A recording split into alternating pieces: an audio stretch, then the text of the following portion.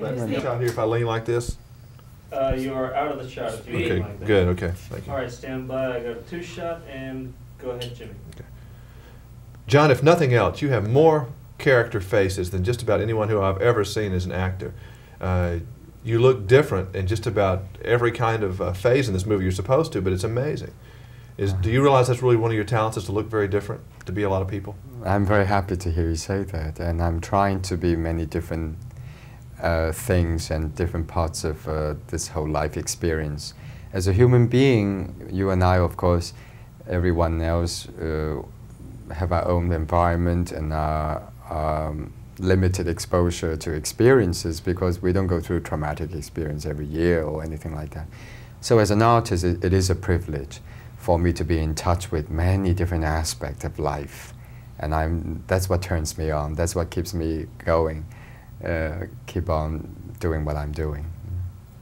You're a little bit like, uh, at least your background, like the young emperor in that you were raised in Peking at the very strict opera company Yeah, in Hong Kong. in Hong Kong. because they came to Hong Kong at that time, and um, yeah, we were alone in the crowd, and I have always um, felt that my independence early because without knowing my family, so I was not being um, connected, so I was on my own. So you related to this young man you were playing? Oh, absolutely! I have tremendous compassion for him, and I feel very sad and when I think of him. Did you know anything about the story before you were given the script? No, I knew nothing about him until I met with Bernardo in 1985. He gave me the uh, biography to read about the emperor that he wrote.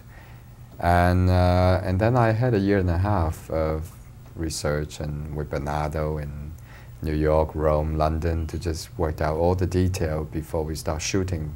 And then it took six months to shoot. Some Chinese that I've spoken with immediately say that the emperor was a traitor, and maybe he was a sympathetic person, but they're very harsh and almost, uh, you know, immediately blunt about this man was a traitor. And uh, while there may be things about him that are sympathetic and things like that, they do say traitor very quickly. The Why? reality was the man was exiled in his own country. People would have emotionally used him as a scapegoat and killed him. And the Japanese were the only one that took the advantage, saw an opportunity, and apparently helped him. But uh, he has really very little choice, and I don't know how you feel when you saw the film. He really literally had no choice. He either get killed by some stupid incident in, on the street by you know being spotted.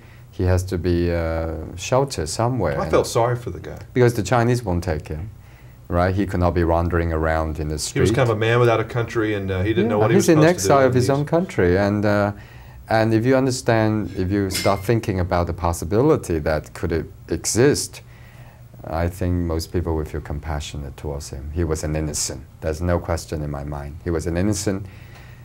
Through the process of struggling and surviving, he became a great actor.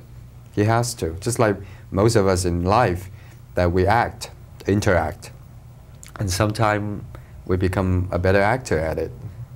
Not not insincerely. Excuse me. Most people think that when you're talking about acting, they think that you're being insincere. It's not true.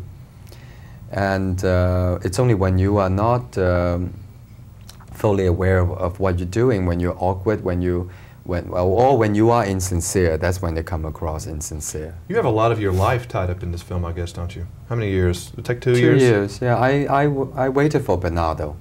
In the beginning, there was a lot of problem with changing dates all the time. But I waited for him. I turned down a lot of money, first time in my life, to do a studio picture. I turned it down because I, I wanted this experience with Bernardo and in China. And with this tremendous part that was given to me. Because Bernardo never even once asked me to audition or read for him. He just, we just had meetings. I know it's really hard to, to answer this question in a way, but it's really almost like a once in a lifetime part for something like this, isn't it? It's, so big and it's an epic film, and not many films like this are even attempted. anymore. I think perhaps you might agree with me without me exaggerating. This is a great moment in my life. And I do hope, um, and I know it's, it's fact for Bernardo, for everyone, because when I saw the film in New York when the, the first time, I was so proud of the filmmaker. This is what we set out to do, and they completed you know, Mhm. because we did not make any wrong turns or, or any kind of calculation thinking that, oh, we should manipulate the audience to do this, to do that. The whole thing was very honestly done.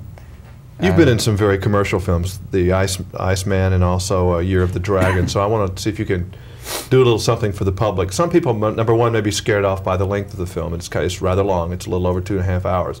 They also may be scared off with the fact that it is not a comedy. Uh, I'm not even sure if it's a drama. It's a, it's something all its own. Without being a salesman, I guess is what I'm asking you to do. How do you tell somebody to go check this movie out? I do uh, experience. I just came back from Europe and uh, in Asia before.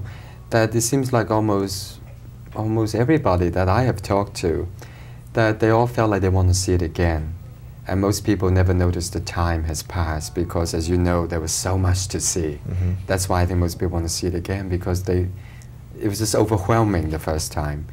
I think it's a very beautifully made, superbly made by the filmmaker from Bernardo Down, um, of a romantic film about this one innocent man against this enormous history behind him.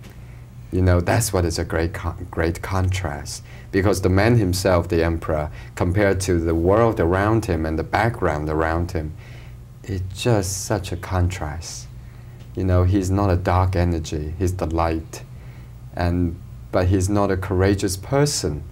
So therefore, he, he, he was being considered a bit cowardice and uh, weak uh, character. But, but I, I felt most people felt very compassionate towards him. That, uh, and I hope people give us a chance to come take a I look. I guess in the difference in reading, it's th- there. There are things to read like pop books, Yeah. and then there are classics, and this is really more of a classic, isn't it? Yeah, but I really like to share this with the audience in terms of China, Mhm. in terms of the artistry and the humanistic uh, part of Bernardo, and all of us um, involved in this film. That is a tremendous effort. There's really no cinema like this before.